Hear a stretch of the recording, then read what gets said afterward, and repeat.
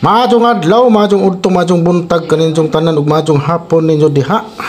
Kaniya na pod kita sa atong ginakit-an restaurant ni Goy Goy Unahan diri sa iyang gasoline station.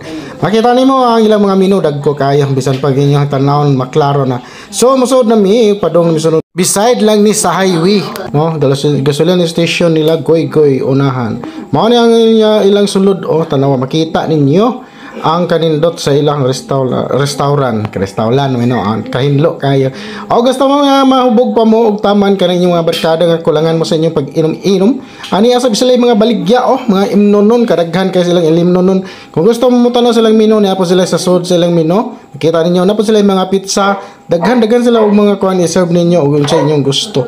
Ala dong na mo diri kay aron makakaon mo sa ilang lamian ng mga putahe o 24/7 din ilahang pag uh, ano sa ilahang restaurant no. Hantod buntag di sila 24 oras way tulugay siga ang mata. Og dali na mo diri tanawan ninyo ning ilahang menu diri mga nindot kayo. Og na makita ninyo ang highway. O mo nila gasolinahan. Ang ilang gasolinahan nasa kilid ang restaurant nila. Available kayo mga friends o kato mga magabian mo diha ano nga magi- magikan sa inyong biyahe.